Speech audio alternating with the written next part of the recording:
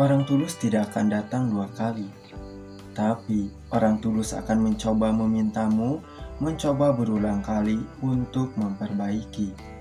Tapi jika dirimu masih tetap tidak ingin memperbaiki, maka kalimat yang pertama lah yang akan benar-benar berlaku.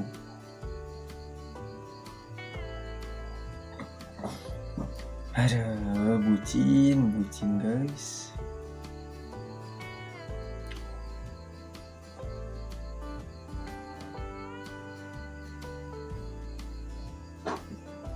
Kadang kita itu bingung ya, bikin kontennya apa gitu ya. Kita bikin konten dari hal yang akan yang kita rasakan aja gitu ya. Yang kita rasakan, yang kita alami. Ah, intinya mendalami apa yang terjadi. Semoga terhibur, semoga terinspirasi, semoga termotivasi juga guys.